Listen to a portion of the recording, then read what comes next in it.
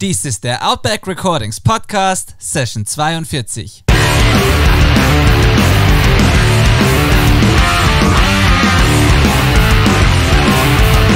Willkommen zum Outback Recordings Podcast, der Show für die Punkrock- und Hardcore-Community. Inspirierende Menschen, wertvolle Einblicke und spannende Stories präsentiert von eurem Host Benedikt Hein. Hallo und herzlich willkommen zu einer neuen Folge des Outback Recordings Podcasts.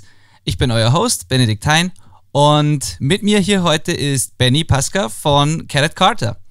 Carrot Carter ist eine Band, die ich zwar vom Namen her kannte, die mir aber tatsächlich immer irgendwie so, ja, ich habe sie nicht so, nicht so wirklich mitbekommen irgendwie. Dann wurde die mir aber empfohlen und ich habe mir dann, äh, ich habe dann doch nochmal genauer hingehört, habe dann auch diese wundervolle Isolation EP mir angehört, die sie jetzt kürzlich rausgebracht haben.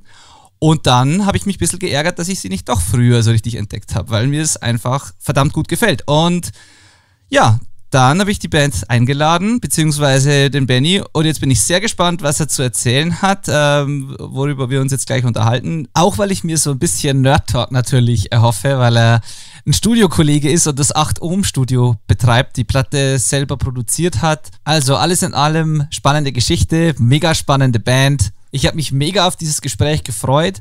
Und äh, bevor wir loslegen, wenn der Sound etwas anders ist als sonst, äh, bitte ich das zu entschuldigen. Ich bin heute mal wieder daheim und nicht im Studio. Äh, aufgrund der aktuellen Corona-Situation versuche ich viel Zeit mit der Familie einfach zu verbringen, nur damit denen die, die Decke nicht auf den Kopf fällt und äh, versuche mehr als sonst daheim zu sein. Deswegen wird das Ganze heute hier in meinem Büro aufgenommen. Es kann etwas halliger klingen, aber ich, ich hoffe und denke, ihr verzeiht mir das. Jetzt geht's los.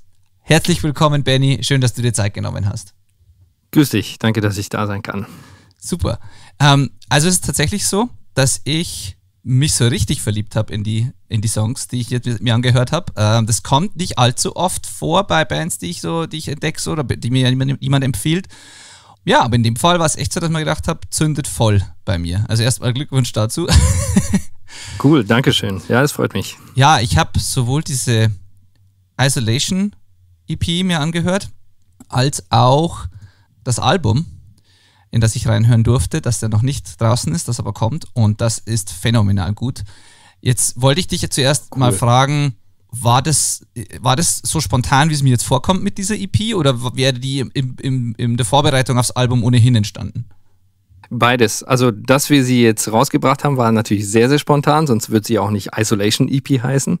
Aber die Songs standen vorher natürlich schon. Also, die waren tatsächlich teilweise auch Kandidaten fürs Album, teilweise auch Kandidaten, die wir vor, vor dem Album schon geschrieben haben und aufgenommen haben oder als Demo aufgenommen haben und im Zuge der, des Albums dann äh, quasi richtig aufgenommen hatten, die es aber nicht aufs Album geschafft haben. Also, es ist spontan released, aber schon länger aufgenommen und sitzen quasi, sind nur rumgesessen. Aber jetzt im Nachhinein, also was interessant ist, ich habe die länger jetzt nicht mehr gehört gehabt und ähm, dann haben mhm. wir die ausgegraben und ich war selber tatsächlich so ein bisschen, dachte mir, oh, warum sind die nicht auf dem Album? ja, das, also muss ich ganz ehrlich sagen, würden nahtlos reinpassen, aber gut, ähm, wenn man sich das Album durchhat, stellt sich dann auch wieder die Frage, wer, welcher Song hätte stattdessen dann weg sollen. Irgendwie. Genau, genau, also. richtig, richtig, ja. Na, stimmt, aber es ist jetzt kein, kein richtiger Durchhänger dabei. Deswegen auch die Frage so, weil das klingt nicht wie eine, wie so die typischen B-Seiten, die halt ausgemustert wurden, jetzt bringt man die auch nochmal raus, sondern die würden durchaus, die hätten durchaus einen Platz auf der Platte, ja. Sehe ich auch so. Ja, das war irgendwie im Zuge der Selektion, wo wir zusammen saßen und irgendwie die Songs selektiert haben. Das ist halt irgendwie, dann entscheidest du natürlich viel aus dem Bauch heraus und dann findest du es richtig und ich, also ich finde es nach wie vor richtig, welche Songs auf der Platte sind, absolut. Das mhm. ist nicht, nicht, äh, will ich nicht runtermachen, aber trotzdem finde ich, spricht für die Qualität der anderen Songs auch, dass ich die jetzt nach wie vor gut finde. Ja, definitiv.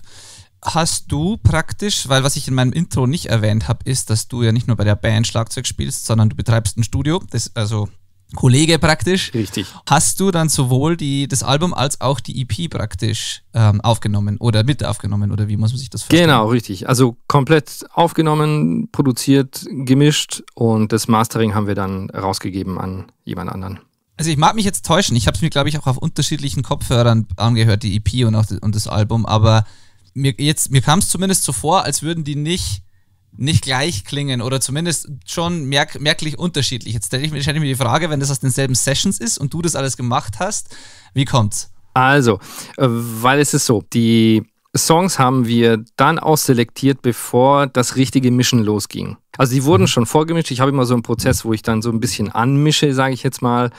Und ähm, schon am Tag drauf oder am Tag oder in der Nacht, wo wir aufgenommen haben, schon so ein bisschen den Sound such. Weiß nicht, wie dein Prozess ist, aber bei mir ist es dann immer so, ich will da so diese Impression, die ich habe, auffangen irgendwie in den EQ-Einstellungen, in den Kompressoreinstellungen. Das will man irgendwie so ein bisschen, das die Idee, die man hat, einfach schon mal ähm, skizzieren. Das sind quasi so Skizzenmixe, sage ich jetzt mal. Also die sind gar nicht krass gut durchgemischt und ich weiß auch gar nicht, also die drei Songs sind auch nicht wirklich gemastert. Also die sind, ähm, die haben wir nicht aus zum Mastering rausgegeben, sondern nur das Album wurde gemastert. Ähm, und diese von der Isolation EP, die wurden, ich weiß es gar nicht genau, wie ob ich da auf dem Masterbus einfach so eine Art Mastering-Kette draufgehauen habe oder hinterher nochmal kurz äh, angemastert habe, das weiß ich gar nicht mehr genau. Aber daher kommt, glaube ich, der unterschiedliche Sound, weil es eben, ich sag mal, nur Skizzenmixe sind eigentlich. Okay, weil es schnell gehen musste jetzt praktisch für die spontane EP, oder? Ja, also die, die, das Mixing hab, wurde gar nicht jetzt gemacht für die EP, sondern die wurde schon vor einem halben Jahr gemacht. Nur lagen die ah, Songs okay. eben rum. Und das waren damals die Skizzenmixe quasi. Ah, okay. Also du hast die nicht nochmal neu ausgepackt jetzt und nee, aufbereitet, nee. sondern einfach, okay, alles Genau, klar. genau. Ja, ja, das macht Sinn. Ja, dann, dann ist klar. Ja, aber trotzdem, klingt für sich super und äh, bot sich ja jetzt äh, an in der Situation. Ähm, vielleicht äh, erzähl mal kurz was zu der Idee überhaupt mit der EP und ähm, das Isolation-Thema und äh, ob da noch, also wie, wie kam es, dass ihr gesagt habt, jetzt bringen wir das Ding noch raus? Naja, also dadurch, dass da Leute jetzt viel daheim hocken, ähm, dachten wir uns, hey, die könnten wahrscheinlich gerne was zu hören haben. Die brauchen irgendwie Futter in irgendeiner Art und Weise. Und dann dachten wir uns, hey, warum nicht irgendwie jetzt so eine Art, ich sage mal B-Seite oder so B-EP rausbringen. Genau, dann haben die was zu hören. Und wir haben, sage ich jetzt mal, auch die Songs in einer guten Art und Weise verwertet, die noch rumlagen, sage ich jetzt mal. Das klingt jetzt ein bisschen abwertend, aber du weißt, was ich meine. Nein, nein, absolut super. Klar wie hat es euch überhaupt, weil du das Thema jetzt gerade ansprichst oder wir jetzt gerade drüber sprechen, äh, weil sie, falls ihr den Podcast übrigens jetzt in einem Jahr oder so hört, also wir nehmen das jetzt gerade zur Corona-Zeit praktisch auf, wo jeder daheim sitzt und wir noch nicht, zum jetzigen Zeitpunkt noch nicht wissen, wie lange noch. Aber wenn, wenn wir schon bei dem Thema sind, wie hat es euch als Band da erwischt? Hat es euch erwischt? Hat es euch Tourpläne durchkreuzt? Oder wart ihr gerade in einer, in einer, wahrscheinlich wart ihr, wärt ihr am Touren gewesen, so mit dem anstehenden Album, oder? Ja, also es waren, ähm, war eine kurze Tour jetzt angeplant, für, also vor der Release. Die wäre jetzt im März, glaube ich, gewesen. Die wurde natürlich gecancelt, beziehungsweise bis jetzt noch verschoben. Mhm. Und nach dem, nach dem Release, welcher jetzt kommen wird, im Mai, hätten, wären wir auch für, ich glaube, zwei Wochen oder eine Woche auch wieder auf On Tour gewesen. Die ist natürlich auch jetzt flach gefallen und ähm, dann auch unsere gepl geplante Header-Show im Juni, Juli war es, glaube ich, gewesen. Die ist auch, äh, da wird auch nichts mehr draus. Also insofern live, klar hat es uns auch erwischt. Ähm, zum Glück hatten wir jetzt nicht, also ich kenne eine befreundete Band von mir, die sind, die wären jetzt ähm, richtig, glaube ich, drei Wochen unterwegs gewesen und zu, ihr, zu ihrem Release jetzt und die hat es einfach völlig ausgenockt und finanziell natürlich auch. Da ist ja einfach richtig die Kacke am Dampfen. Bei uns natürlich auch, ich meine, man plant schon und man hat so ein bisschen Vorfinanzen, wo man irgendwie Sachen vorbereiten muss, Sachen mieten muss etc. Und das ist halt natürlich bisschen schlecht. Aber insofern hat es uns erwischt, aber wir versuchen irgendwie das Beste draus zu, zu nehmen, positiv alles zu sehen und deswegen eben auch so versuchen, Sachen zu releasen, hey, Sachen, die noch rumliegen, das bietet sich dann eben gut an. Habt ihr als Band jetzt in der Zeit irgendwas umgestellt oder irgendwas gemacht, sodass ihr weiter produktiv sein könnt oder was tun könnt zusammen? Und das ist, glaube ich, ein spannendes Thema auch für viele, die vielleicht jetzt zuhören, die sich auch immer noch fragen, was sie jetzt mit ihrer Band tun können. Also Thema Streaming oder in irgendwie Proben oder Songwriting über irgendwelche Videochats oder tauscht ihr irgendwelche Projekte aus, wo ihr irgendwas irgendwie was aufnehmt? Ich meine, bei euch ist das, liegt das Album jetzt gerade fertig rum, das wird wahrscheinlich jetzt nicht Thema sein, aber macht ihr irgendwas jetzt äh, in der Zeit oder haltet ihr jetzt mal einfach die Füße still und wartet, bis es vorbeigeht? Nee, also wir sind nach wie vor produktiv und tatsächlich auch produktiver wie vorher. Nicht, dass wir vorher unproduktiv gewesen wären, aber ja, also das Songwriting und das daheim rum, rumhocken, ähm, da wird man ja doch auch irgendwie kreativ, weil man was machen möchte. Also das, den, ähm, den Songs schrauben, das geht nach wie vor weiter und da hat jeder auch für sich ein kleines Setup, wo er dann Sachen oder Skizzen aufnehmen kann. Cool. Die schicken sie dann mir oder wir schicken es rum und dann bastelt man irgendwie weiter. Also dies, in dem Belang sind wir auf jeden Fall recht gut aufgestellt und ähm, da sind wir auch recht produktiv. Ähm, was so Streams anbelangt, auch. Also der, es war ja geplant, dass wir ein Zusammenspielen machen und das dann streamen zuerst. Was wir dann aber verworfen haben, weil genau dann ging es mit der Ausgangssperre los und dann haben wir eben nicht zu, wollten wir eigentlich zusammen streamen, haben wir es aber dann nicht gemacht. Und so ähm, spielt jetzt quasi der, der, der Nick, unser Sänger, ähm, ab und zu Online-Konzerte quasi mit der Akustikgitarre und singt unsere Songs. Das zum einen. Und wir haben jetzt natürlich auch eine Idee, dass wir ein, irgendwie einen oder mehrere Songs so aufnehmen, dass es jeder für sich mit Video auch aufnimmt und dann stellen wir es zusammen und dann hat man so eine Art, ja, die Band performt den Song, ohne dass sie zusammenhocken und genau. Kannst du da vielleicht mal für so ein bisschen das Setup erläutern, so in beiden Fällen, also dieses Songwriting-Setup, das jeder daheim hat und auch was ihr da macht, so dass das weil ich glaube, das ist ein Thema, also ich kriege zumindest relativ viele Fragen auch von Bands, die, die noch nicht genau wissen, wie das einfach technisch funktioniert, was es für Tools, für Möglichkeiten gibt. Wie habt ihr das genau gelöst? Kann man da jemandem so eine klare Empfehlung geben? Also bei mir ist es natürlich so, ich hocke hier im Studio quasi, das ist äh, für ja. mich das wenigste Problem. Ähm, der Nick, unser Sänger, der hat ähm, auch Interface und Laptop und hat dann ein Mikro und ein ähm, Instrumenteneingang. Und das ist im Prinzip alles, was er braucht. Damit kann er dann seine Akustikgitarren, die Skizzen aufnehmen oder auch die normale E-Gitarre mit über Plugin aufnehmen. Das ist alles so ähm, gut ausgecheckt, dass es gut funktioniert. Bei den anderen zwei, da sind wir gerade am Machen, dass der auch ähm, dass sie, dich, dass sie sich das auch so einrichten, dass sie gut Songwriting eben machen können. Der Passi hat auch Interface und Laptop im Prinzip und fängt da jetzt auch an, kreativ zu werden. Und ähm, der John, der ähm, schaut noch, dass er das gut auf die Reihe bringt. Ähm, genau, der muss, an dem müssen wir noch ein bisschen feilen, aber das kriegen wir hin. Sehr diplomatisch ausgedrückt jetzt, ja. ja. Super. Aber es funktioniert und ihr seid tatsächlich produktiv. Das habe ich mir jetzt, habe ich so jetzt gar nicht erwartet, weil so normalerweise so der Album-Cycle, den man, den man so gewohnt ist, also wenn eine Band jetzt kurz vorm Release steht, ist ja meistens so die Show und, und Promo-Planung auf Hochtouren. Aber ihr seid dann tatsächlich schon auch wieder am Schreiben. Das ist cool. Ja, ja also das, das ist immer irgendwie ein interessantes Phänomen. Ähm, das ist ja nicht die erste Band, die ich mache. Und bei allen Bands war es immer so, wenn, die, wenn ein Album durch ist, man es aufgenommen hat, dann ist so, ich sag mal, eine Monat vielleicht Ruhe. Und das war es auch schon.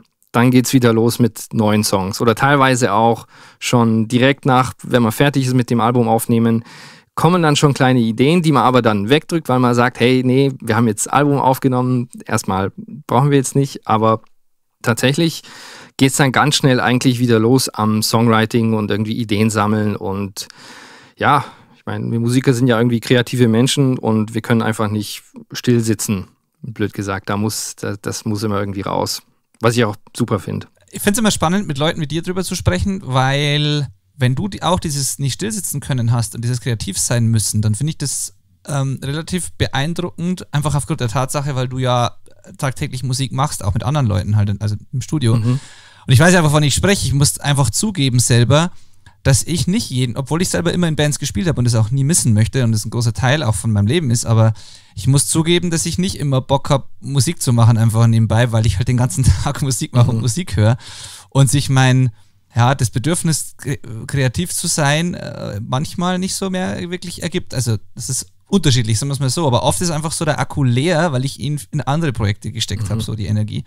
Äh, hast du, verspürst du dauerhaft durch diesen, trotzdem diesen Drang oder ist es tatsächlich auch so phasenweise? Also, äh, wo, wo ich mich selber ertappe, ist, dass ich tatsächlich wenig Musik dann in meiner Freizeit höre, wenn gerade viel los ist, im, entweder im Studio oder bandmäßig. Also dann ja. fahre ich zum Beispiel vom Studio nach Hause und ich merke, ich genieße einfach die Ruhe oder das Sohn vom Auto. Ja. Oder wenn ich dann daheim bin, irgendwie einen Film schauen, ich achte auch nicht auf die Musik oder so, sondern einfach nur irgendwie ausschalten.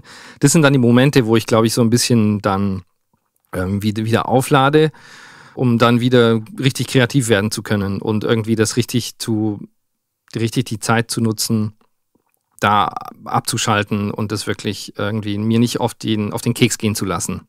Das ist ultra wichtig. Also das gleiche hier. Also ich höre viel mehr Hörbücher, Hörbücher, Podcasts oder gar nichts ähm, als Musik äh, meist, die meiste Zeit, je nachdem, wie viel halt los ist. Aber meistens ist gut was los, Gott sei Dank, und dann ist es halt so. Und diese Ruhe, ja, bei mir, also wenn ich nicht rauskomme zum, zum äh, irgendwie ja, Radfahren, Spazieren, Wandern, Laufen, keine Ahnung, irgend sowas, dann, äh, dann fällt es mir echt schwer. Ich bin auch, glaube ich, einer von den wenigen Menschen, die ohne heutzutage ohne Kopfhörer und ohne irgendwas im Ohr laufen, spazieren mhm. gehen oder Radfahren gehen. Die meisten hören ja irgendwas dabei, aber ich mache das bewusst nicht. Ich will gar nichts hören dabei. Ich will einfach ja. den, den Vogel zwitschern hören vielleicht, aber sonst nichts. Absolut, das geht mir genauso. Ich, ja.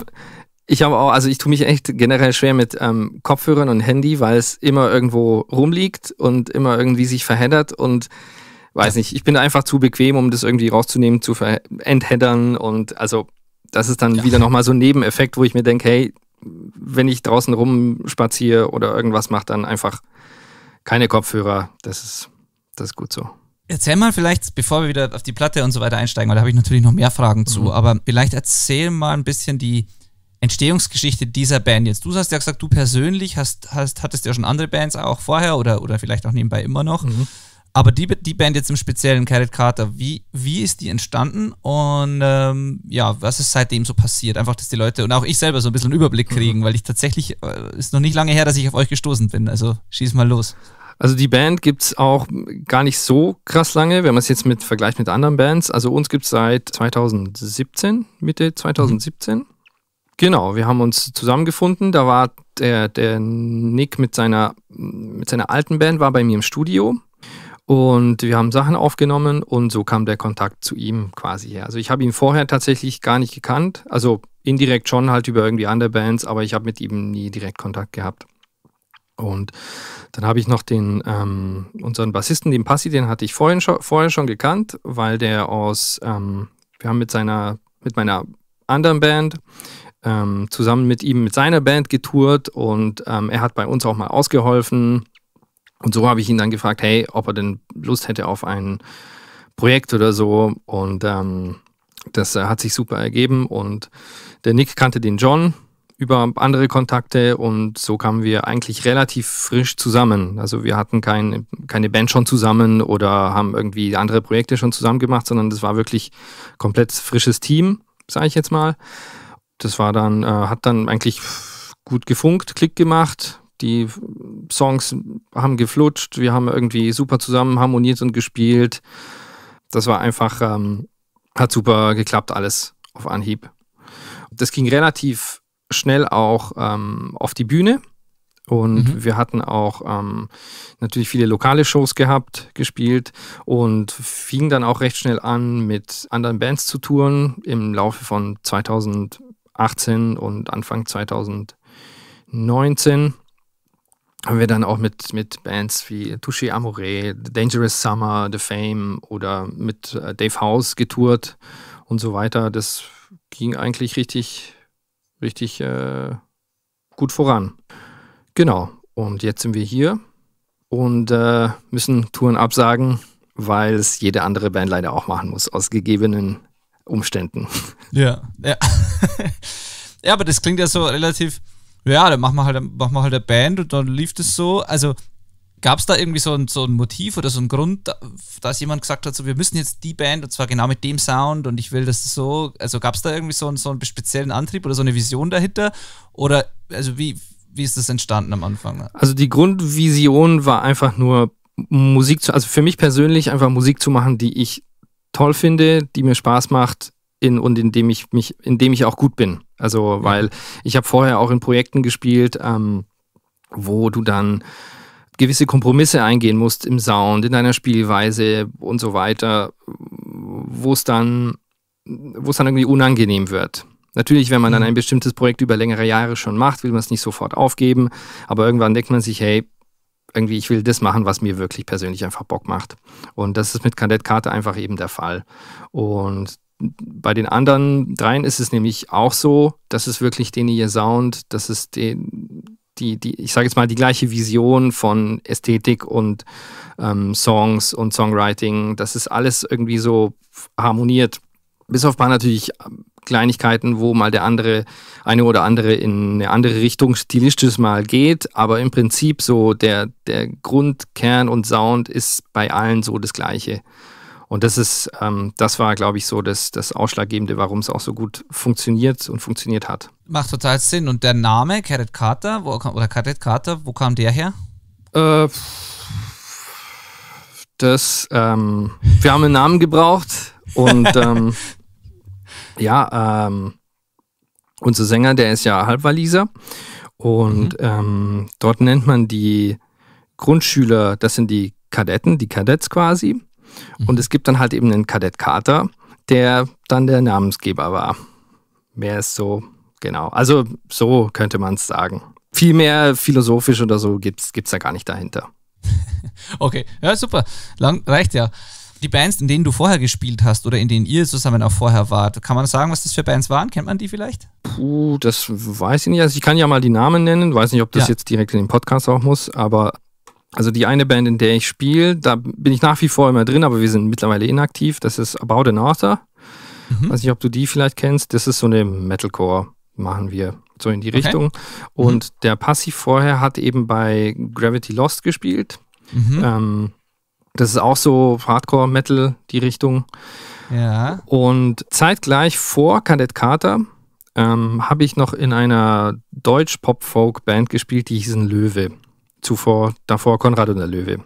Weiß nicht, das ist auch, wie gesagt, gibt es seit 2016 auch nicht mehr. Und mit denen war ich eigentlich relativ gut unterwegs. Ähm, und haben wir viel gespielt, auch Deutschland getourt und ja, relativ erfolgreich, sage ich mal, aber irgendwann mhm. ging es dann, keine Ahnung, wurde es persönlich nicht, nicht mehr so top und der Stil hat sich so verändert, dass ich für mich persönlich viele Kompromisse irgendwie eingehen musste und es war dann irgendwie nichts halbes, nichts Ganzes für mich und dann Then I pulled the plug. Ah, okay, alles klar. Ja. Aber dann, das finde ich, das ich immer ziemlich cool, weil das ist ja eine mutige Entscheidung zu sagen, mir geht es hauptsächlich um die Selbstverwirklichung und darum, dass ich einfach was mache, worauf ich Bock habe.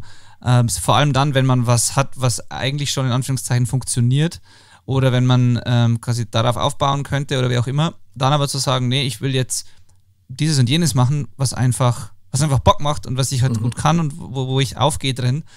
Auch wenn es heißt, damit quasi wieder von vorne anzufangen oder gegebenenfalls oder halt einfach nicht zu wissen, ob es wen erreicht und was damit passiert, mhm. so, oder? Also es war ja gewiss so eine, so eine Ungewissheit im Vergleich zu der bereits einigermaßen erfolgreichen Band. Ja, genau. Ja, einerseits ja.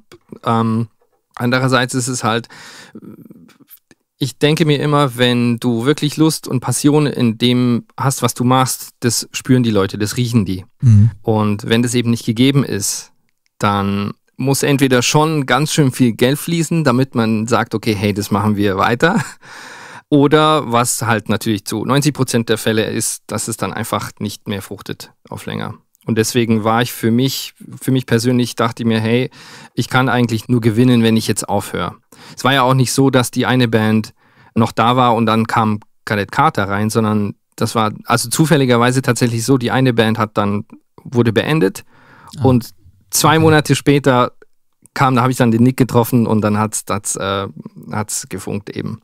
Ah, dann dann macht es ja umso mehr Sinn. Ich habe es eher so verstanden vorher, als wärst du praktisch ähm, so vor der Entscheidung gestanden, welche Band. Aber dann ist es ja umso, umso klarer eigentlich dann. Nee, nee, egal, genau, genau. Das war, ähm, ja, das war einfach, hat mir irgendwie nichts mehr gegeben und ja, wo war vorher so dein persönlicher musikalischer Background dann? Weil wenn du einerseits die Metalcore-Geschichten gemacht hast und so die härteren Sachen und dann jetzt dieses, ja, ich nenne es jetzt mal, wie soll man es nennen? Rock, Indie, Rock, no, noch, noch tatsächlich, ähm, also du meinst jetzt mit Cadet Carter? Ja, genau, also genau. weil das ist ja so, das ist ja jetzt nicht mehr, eben nicht, nicht Metalcore, ganz was anderes ja. halt. Wo, wo liegen so deine persönlichen Wurzeln so? Oder hat sich das eben auch in der Weise entwickelt wie jetzt die Bands so? Also da bin ich tatsächlich so ein bisschen so ein Chamäleon ähm, okay. und das ist gar nicht äh, opportunistisch gedacht, weil ich mir irgendwie das spielen möchte, was ich, was jetzt irgendwie geht oder so.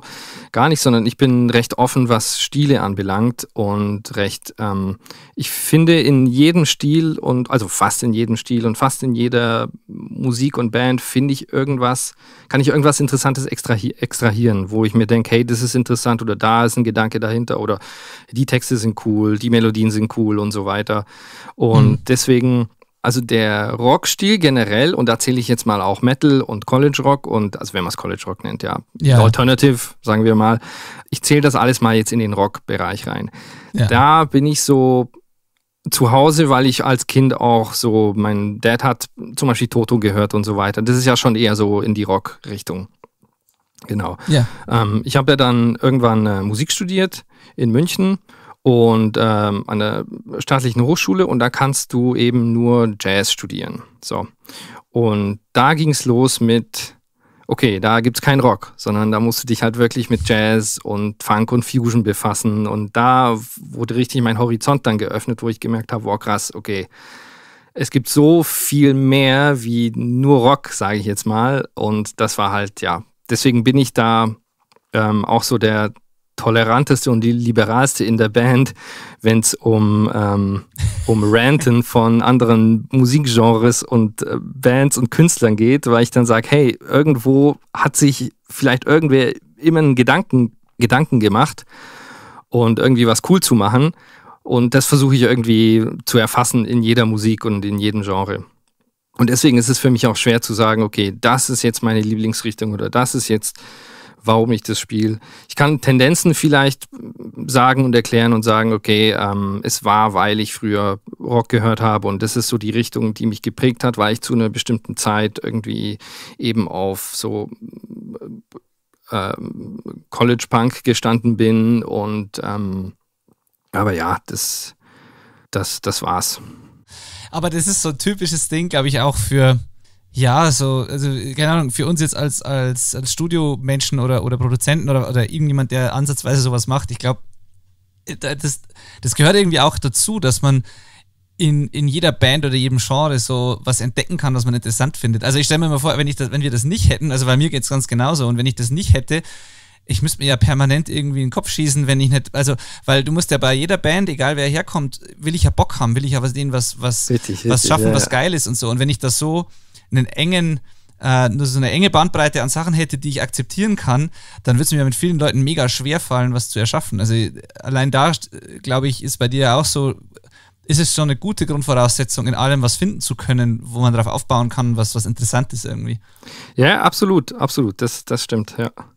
Ja. Das ist, ähm, ja, ich ertappe mich dann, wenn mal irgendwie das Radio läuft und keine Ahnung, irgend so ein Chartsong läuft, den ich persönlich jetzt nicht cool finde, aber irgendwie poppt dann da was raus, wo ich mir denke, hey, das ist eigentlich ganz cool so.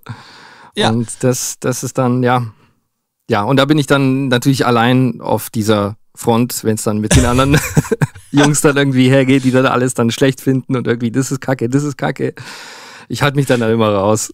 Oh Mann, ey, wie oft habe ich diese Diskussionen schon gehabt, auch, auch so dieses, dass grundsätzlich Pop immer, immer schlecht ist, beziehungsweise, dass es so einfach ist und das kann ja jeder und es sind ja bloß immer diese simplen, einfachen Strukturen und ich denke mir immer so, Ach, ich will gar nichts dazu sagen jetzt, weil also das Zeug funktioniert ja aus einem bestimmten ja, ja. Grund und das sowas zu schreiben und zu machen, dass es funktioniert, ist so verdammt hart. Und alle, die dir immer sagen, das ist ja so einfach und das kann ja jeder, wenn es so wäre, hätten die halt alle Hits geschrieben. So. Und das, richtig, also, richtig, genau, ja.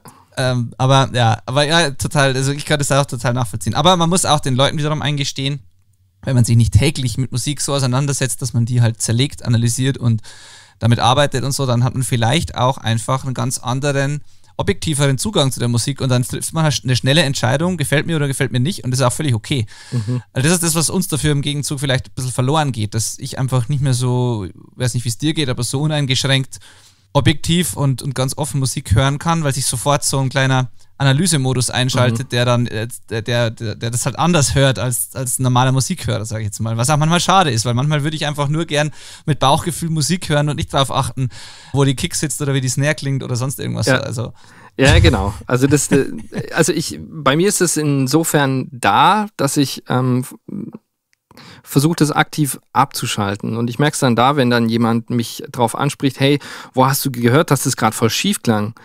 Und ich dann so, pff, ich habe jetzt nicht genau hingehört, also ist mir jetzt so direkt nicht aufgefallen. Also ich habe das Gefühl, ich habe es langsam, langsam wieder abgeschaltet oder kann es ein- und ausschalten, wann ich aktiv zuhöre, wann ich analysiere und wann nicht.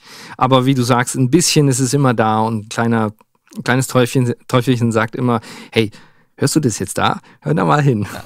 Ja. ja. Aber es ist gut, wenn du das bewahren kannst. Da muss ich da habe, da tue mich ich tatsächlich ein bisschen schwerer damit. Und äh, ich sehe das immer, ich mache da immer so kleine Experimente bei meiner, bei meiner Frau daheim, so, wenn wir irgendwelche Sachen hören. Ich achte immer ganz genau darauf, wie sie darauf reagiert, wenn sie zum ersten Mal einen Song hört. Und das ist halt ganz anders als meine Reaktion drauf. Und, aber da kann man halt so viel lernen, weil halt, weil auch beim, beim Song schreiben oder produzieren man sich dann immer vor Augen halten kann, so diesen, ein, diesen Moment, wenn jemand einen Song zum ersten Mal hört, den gibt es mhm. A nur ein einziges Mal halt. Richtig. Und, und dann ist es auch so, dass die einzige Entscheidung, die, die dann stattfindet, oder das Einzige, was dann zählt, ist halt einfach, ist es ein guter Song oder ist es kein guter Song. Alle anderen Sachen sind ja nur Details, um die wir uns kümmern, aber der Hörer, der teilt das Ding in zwei Kategorien ein und entweder ist es geil oder nicht. Richtig, ja. Und äh, das ist dann immer, das ist immer ganz spannend.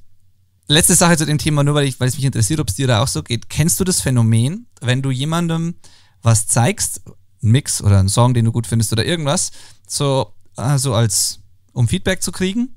Und, der, und du bist mit der Person im, im gleichen Raum, spielst es ab und bevor die Person was sagt, nur die Tatsache, dass da jemand ist, der mithört, lässt dich was hören, was du vorher nicht gehört hast. So. Absolut.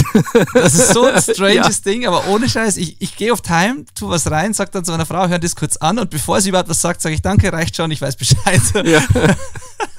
Absolut. Das ist, ich habe letztens irgendwo über genau dieses gleiche Phänomen einen kurzen Artikel gelesen. Irgendwer hat darüber gequatscht und dann habe ich mir gedacht, ja, krass, stimmt. Das ist wirklich so. Wenn jemand einfach da sitzt in der Regie oder wenn du es jemandem zeigst und der hockt daheim, deine Analysemaschine im Kopf rattert so 30 Mal mehr und du dir denkst, oh, oh, shit hier und oh, shit da, oh, oh, das nicht, um, ah. Und äh, vorher dachtest du dir, oh, ja, passt, passt. Ja. Absolut, das stimmt, ja. Das ist echt weird. Ja, total. Wenn du jetzt so aus, was Songwriting bei euch betrifft, bist du da auch sehr involviert dann oder ist dein Part tatsächlich so die, die das Technische, die Umsetzung, so das Produzieren? Ähm, wie schaut das bei euch aus? Wie definiert man Songwriting? Also mhm. Ist, das, ist das Songwriting, wenn Text und Melodie steht, sage ich jetzt mal? Oder ist Songwriting, den Song auszuarbeiten komplett? Also weil wenn es darum geht, den Song auszuarbeiten, dann sind wir alle recht mhm. involviert. Ich meine, wenn es äh, zu, zu, meinem Part quasi jetzt, äh, dass ich den Groove dazu schreibe, dass ich irgendwie sage, hey, dem, dem Part ein bisschen länger oder der Groove könnte besser passen oder die Kick hier und da oder diesen Akzent. Wenn das natürlich Songwriting ist, dann absolut sind wir alle involviert, bin ich auch involviert. Wenn es aber nur im Kern des Songwritings, also Akkorde, Text und Melodie, dann sind wir natürlich ein bisschen weniger involviert, weil das kommt natürlich viel hauptsächlich vom ähm, Nick, der da auch einen sehr guten Job macht. Er hat echt super Gefühl, was äh, Songs und Melodien und Texte anbelangt. Also da bin ich echt happy mit ihm. Ähm, da sind wir natürlich weniger an sich involviert und ich habe persönlich auch nicht den Ansporn zu sagen, hey, ich muss jetzt Text schreiben oder ich muss jetzt eine Melodie irgendwie erfinden wenn mir eine tolle Melodie in den Kopf kommt, ja, ich unterbreite sie den Leuten. Wenn nicht mhm. und es jemand anders besser macht, dann arbeiten wir damit. Das ist, also ich nehme immer das, was besser ist.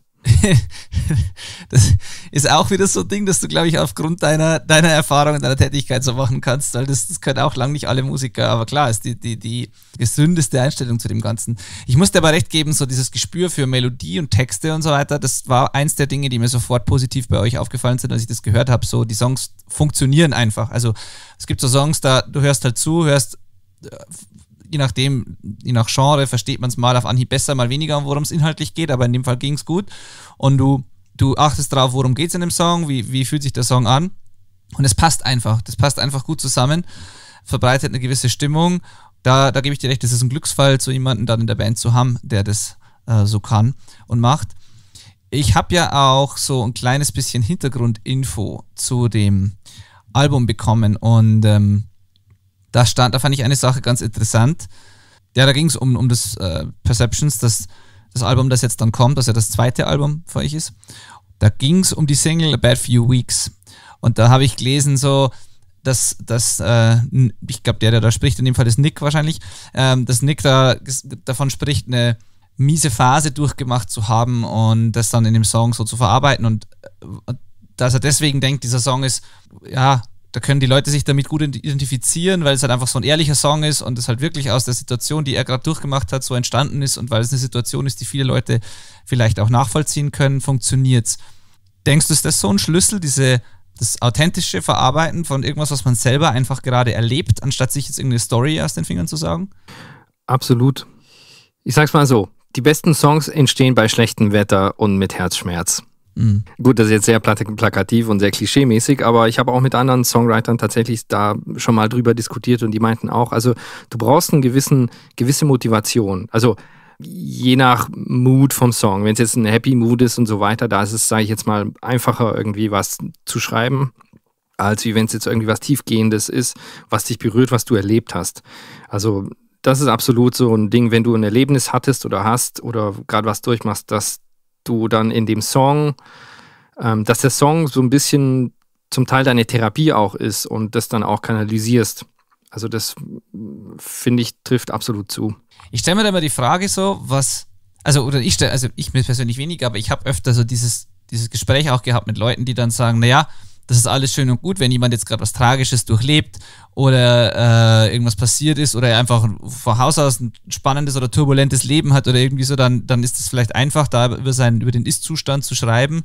Aber ich habe jetzt nichts großartig Aufregendes, worüber ich erzählen kann oder ich habe jetzt nichts zu sagen. Und dann haben die Leute das Gefühl, sie müssen sich irgendwie eine Story ausdenken oder über irgendwas singen, was vielleicht spannend sein könnte. Und ähm, ich weiß nicht, wie du da darüber denkst, aber ich glaube, man kann die einfachsten alltäglichen Dinge so erzählen, dass es eine coole oder eine, eine spannende Story ist, weil jeder hat ja so auch in, in jedem einzelnen Tag so ein, so ein Auf und Ab oder so Erlebnisse, die, die einen doch irgendwie berühren oder beschäftigen. Ich weiß nicht, wie du das siehst. Also ich denke mal, euer Leben oder das von Nick oder so ist wahrscheinlich jetzt auch nicht ausnahmslos das Spannendste auf der ganzen Welt, sondern da, da wird halt, er verarbeitet halt geschickt Phasen, die durchaus schwierig sind, aber er macht es halt auf eine Weise, dass das einfach ja, dass es halt funktioniert. Wie, wie denkst du darüber? Puh, also ähm, bei Filmen gibt es ja Filme, die auf wahre Begebenheiten beruhen und es gibt einfach fiktionale Filme. Und weder das eine noch das andere ist gut oder schlechter. Ähm, beim einen muss man halt was erfinden und das andere ist irgendwie passiert. Deswegen glaube ich einfach, dass beides, wenn jemand von Haus aus ein weniger spannendes Leben hat, dann muss er halt gute Geschichten erfinden. Und ähm, deswegen denke ich, dass beides irgendwie seine Berechtigung hat und beides irgendwie funktionieren kann und auch eben funktioniert, weil ähm, ja, weil also Nick hat jetzt natürlich kein, er hat jetzt kein furchtbar schlimmes Leben oder ist nicht irgendwie hat nichts krasses äh, Fatales in seinem Leben jetzt erlebt, wo man sagt, okay, der hat jetzt nicht in einem Kriegsgebiet gelebt oder so. Also wenn man es jetzt mal so extrem ausdrückt. Deswegen, ich meine ja diese Extreme, genau. Ja. Genau, genau, richtig. Deswegen, ähm, aber es gibt ja trotzdem Sachen, die einen beschäftigen und die man für ähm, emotional, glaube ich, wichtig und gravierend empfindet, die vielleicht für jemand anders gar nicht so gravierend wären. Aber wenn man die dann verarbeitet, dann ist es auch vielleicht für einen selber einfach ein gutes Mittel da, das nach außen zu tragen.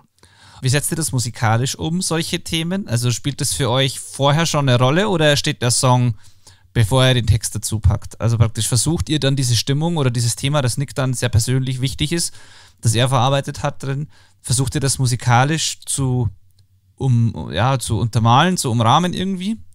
Nicht mit dem Kopf. Also okay. es ist es bei mir zumindest ist es nicht so, dass ich weiß, okay, es ist ein trauriger Song oder es ist, hat eine bestimmte Thematik und versuche dann künstlich irgendwelche Sachen da mhm. reinzutun, die das unterstützen. Nee, gar nicht. Also ich äh, ich versuche einfach irgendwie coole Sachen mit einzubauen, die mir die ich von meinem Bauchgefühl passend für den Song und für den den Charakter jetzt finde. Mhm. Das ist eigentlich das ja So einfach läuft es bei mir im Prinzip und dann, genau, entweder es passt oder es passt nicht und ja, ist relativ unspektakulär eigentlich. Na, aber das ist ja auch wieder gut. Das ist ja wieder bei der Intuition und bei der Authentizität. Ich will nur, ich versuche nur herauszufinden, wieso mich jetzt zum Beispiel dieses Album, und das kann ich echt ehrlich behaupten, äh, einfach von Anfang an so schon gepackt hat, einfach mitgenommen hat, so ein bisschen. Ähm, das ist halt nicht immer so. Manchmal brauche ich so drei, vier Runden, um reinzukommen. Und da war es einfach so, das hat sich einfach gut angefühlt. Äh, und ich versuche halt gerade rauszufinden, woran das in dem Fall wieder liegt. Und ähm, vielleicht ist es genau das, weil es einfach Bauchgefühl, Intuition ist und dazu die authentischen Texte und es funktioniert einfach so irgendwie.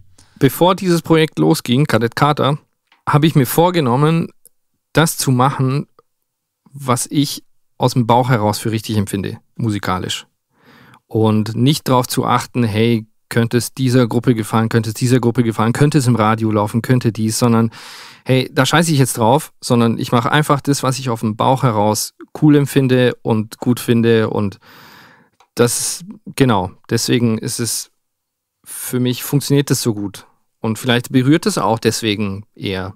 Das, was ich am Anfang ja auch gesagt habe, ähm, dass ich glaube, ich das Gefühl habe, dass Leute es riechen können, wenn man nicht das aus Passion macht, was man macht. Und deswegen kommt es dann auch an. Wenn man ja. das dann aus wirklich aus Passion und aus äh, äh, selbstloser Herzenslust macht, dann spürt, spürt man das auch. Und das, da kann der Funke, glaube ich, auch überspringen. Und das ist, glaube ich, wirklich bei, bei jedem Künstler so, egal wie erfolgreich oder unerfolgreich der ist. Ich bin da immer so ein bisschen hin und her gerissen. Also ich, ich bin komplett deiner Meinung. Ich denke aber, dass das trotzdem dann halt unterbewusst, aber es ist trotzdem dann irgendein Publikum immer im Kopf und wenn das Publikum nur man selber ist, aber dann schreibt man in dem Fall halt die Songs für sich selber oder für jemanden, der einem selber ähnlich ist, aber man hat ja trotzdem so eine Vision oder so ein, so ein oder grob eine, irgendwas in seinem Kopf, was man halt, wo man hin will, was man machen will. Nicht um jetzt erfolgreich zu sein oder so, aber um eine bestimmte Emotion auszulösen oder ein bestimmtes, einfach, dass der Song sich nach einem bestimmten auf eine bestimmte Art und Weise anfühlt. Einfach, dass man selber dieses Gefühl hat, wenn man den Song hört. Und ich bin immer hin und her gerissen, weil ich gebe dir recht, so mit den ist ganz schwierig, einen Song zu, zu schreiben. Das können viele Leute natürlich äh, wie, ganz besonders gut, aber es ist sehr schwierig, einen Song zu schreiben mit der, unter der Prämisse, dass eine bestimmte Zielgruppe den nachher kaufen soll. Das geht, aber es ist schwierig und wird es wahrscheinlich anders. Äh, ist halt eine komplett andere Herangehensweise, als du es jetzt beschrieben hast. Aber ich finde, auch wenn man, wenn man das jetzt komplett ignoriert, dass man dann trotzdem nicht einfach ins Blaue irgendwelche Töne spielt, sondern ja trotzdem im Kopf, also ich zumindest, vielleicht ist das bei dir auch ganz anders, aber ich, ich also ich stelle es mir immer so vor und ich denke, dass es nicht schade, trotzdem im Kopf so ein, ja, eine grobe Vision zu haben oder ein Gefühl zumindest, das man erreichen will, sodass man irgendwas hat, womit man das, was man gerade macht, abgleichen kann. Und ähm, beziehungsweise, ja, es ist, ist echt ein schweres Thema. Also weniger dieses, dieses Publikumsthema, dass es jemand kauft, aber so, ich stelle mir schon so ein, so ein Mensch vor, und wenn es nur eine, wenn es nur eine Kopie von mir selber dann ist, der das dann hört und wo ich mir dann denke, was empfindet der wohl, wenn er das hört? So.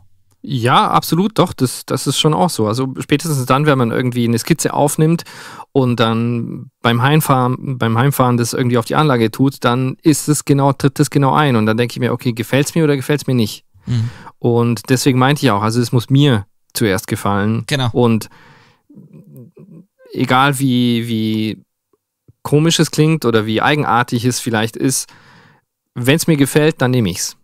Das ist aber super, weil die Wahrscheinlichkeit, dass irgendjemand auf der Welt oder eine Gruppe von Leuten auf der Welt äh, ähnlich empfindet wie du, ist ja relativ groß. Wir sind zwar alle individuell, aber wenn es wirklich für dich selber passt, wenn du es wirklich geil findest, dich es wirklich berührt, dann ist wahrscheinlich irgendwo noch jemand, dem es so geht. Mhm. Praktisch. Richtig, ja. Ja, das ist spannend, ist total, total interessant. Ich, auch, ich bin da ganz vorsichtig auch mit richtig und falsch, weil das so, so individuell ist. Und es gibt auch genügend Gegenbeispiele von Menschen, die das komplett nach, nach Fahrplan äh, machen und es auch super funktioniert. So deswegen äh, finde ich es einfach nur interessant, immer die unterschiedlichen Ansätze zu hören. Und ich bin immer so ein bisschen dazwischen. Ich liebe Pläne grundsätzlich. Ich bin einfach der Mensch, der gern weiß, so der vorher einfach weiß, was er Schritt für Schritt macht, um irgendwo mhm. hinzukommen. So. Aber gleichzeitig muss ich auch zulassen, einfach mal zu machen, was mir halt einfach selber am Ende gefällt und das dann nicht zu hinterfragen. Weil wie du gerade gesagt hast, ein ganz wichtiger Punkt, dieses, wenn es mir gefällt, nehme ich es auch. Das muss man dann schaffen in dem Moment. Dann darf man nicht hergehen und sagen, okay, das gefällt, also mir gefällt es jetzt zu 100 Prozent, aber wird das auch den Leuten, die es dann hören, denken die vielleicht anders als die mit dem Grund. Und so, wenn man dann anfängt, das zu hinterfragen und wieder rückgängig zu machen Genau, aus Angst genau. davor, dass es die anderen eben nicht so sehen, das ist dann, finde ich, gefährlich. Ich glaube, man muss da völlig furchtlos sein und einfach sagen, wenn es mir wirklich taugt und ich überzeugt bin davon, dass es das macht, was ich will, dass der Song macht, dann raus damit und halt hoffen, dass es dann einfach, dass es klappt. Genau, richtig. Ja. Und das, äh, wie, wie du es exakt gesagt hast, das ist so der Ansatz, den ich jetzt auch verfolgt habe oder halt eben jetzt die letzten paar Jahre auch verfolge. Weil es eben auch mit, der, mit den Bands davor halt nicht so war, sondern da war es teilweise, vor allem mit der Popband, da war es wirklich so, hey, versuchen da irgendwie Sachen zu machen, die der Masse jetzt, sage ich mal, gefallen. Und dann, wenn man selber dann da nicht so dahinter steht, dann, also für mich persönlich hat es einfach nicht funktioniert. Mm, okay.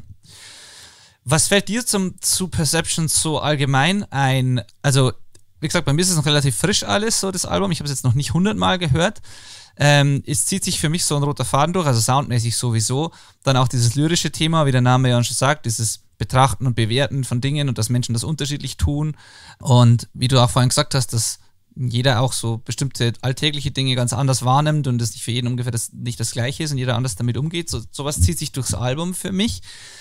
Gibt es Besonderes, was ihr noch damit verbindet, dass man jetzt als Außenstehender vielleicht auf den ersten, aufs erste Mal hören gar nicht so, so, so merkt? Oder fällt dir irgendwas, irgendwas ein, was ihr da noch reingepackt habt, was, was ganz besonders wichtig war, damit das Album funktioniert? Also hauptsächlich eben die Phase, wo unser Sänger eben sein, seine Off-Phase hatte. Das war ja Mhm. zwischen Mitte, Ende 2018 bis äh, Anfang 2019. Da hatte er einen kleinen Durchhänger. Und das ist so, deswegen ist ihm ja auch dieses Bad Few Weeks so wichtig. Ja. Und das finde ich auch, ähm, war für uns als Band ausschlaggebend, dass wir das sehr gut überwunden und verarbeitet haben. Und wir auch, finde ich, den, den Nick auch gut aufgefangen haben, ohne ihn irgendwie Druck zu machen, weil das war mir und uns auch wichtig, dass wir da jetzt nicht sagen, hey, äh, du kannst jetzt nicht einfach aufhören, sondern wir müssen weitermachen, sondern gesagt, hey, Dude, dann chill mal und wir, wir ähm, kriegen das schon hin. Und ich Okay. glaube, dass, dass, äh, dass wir das gut äh, überwunden haben, ist, glaube ich, ein großer Teil von dem Album. Was jetzt natürlich, ja, das kann man jetzt nicht. Ja, für die Leute nach außen ist es natürlich ein ganz kleines Ding. Die hören sich die Songs an und das sind verschiedene Thematiken, aber für uns ist es, wie gesagt, und für mich persönlich auch, hey, wir haben das trotz dem Ganzen, äh, was da war, einfach super durchgesch durchgeschafft und ein Top-Album gemacht. Ja, genau deswegen frage ich so. Ich, weil das geht mich ja gar nichts an, was war und, und so, aber man liest sich halt so, als wäre es tatsächlich halt so für euch keine Kleinigkeit gewesen und manchmal kommt es nicht, manchmal weiß man als Zuhörer gar nicht so wirklich, was da tatsächlich da drin steckt und so. Und in dem Fall, also ich, ich als jemand, der jetzt diesen Promotext gelesen hat, dachte mir dann schon so, hm, da scheint eine tiefere Geschichte dahinter zu sein und ähm, du hast ja gerade erwähnt, bedeutet euch dann auch einiges natürlich, ja.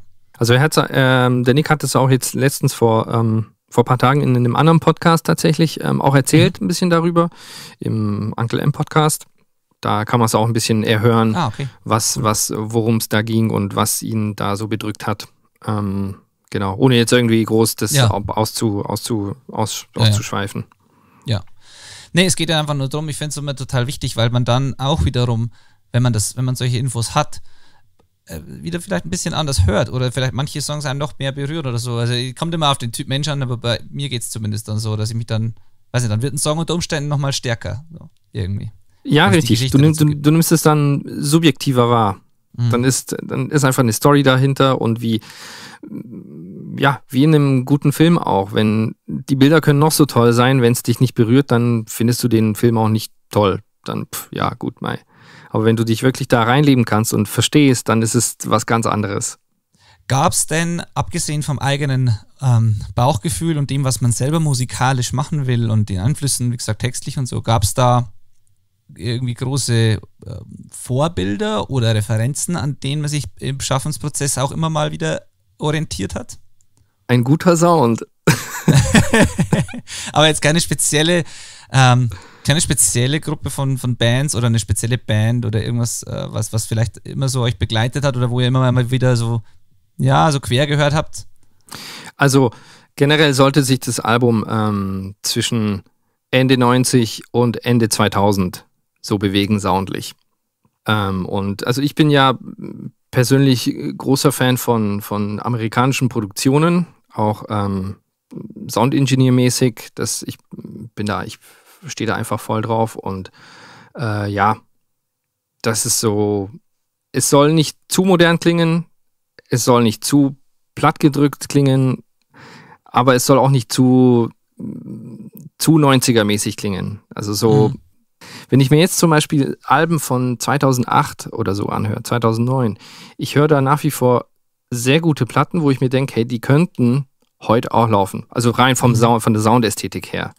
Wohingegen der Unterschied zwischen Ende 90er und Mitte 2000, da war schon viel, viel krasser Unterschied. Also deswegen so, da natürlich ein, ein Querschnitt zu finden, was irgendwie beides so ein bisschen bedient, ist natürlich schwer, aber das war so der Ansporn, dass es so in dem, in der Zeitspanne reinfällt, soundlich und irgendwie von der Ästhetik her.